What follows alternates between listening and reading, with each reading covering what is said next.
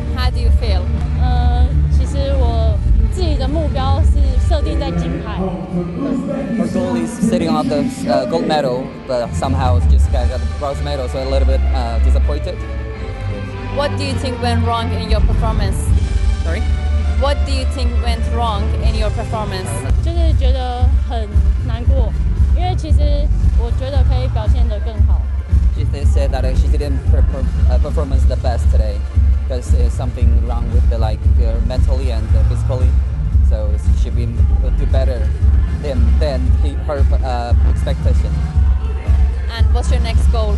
下一个目标就是年底的墨西哥大奖赛决赛。 Uh, her uh, next goal is for the uh, Mexican uh, Grand Prix, Grand Prix, and for uh, setting up for the gold medal for sure.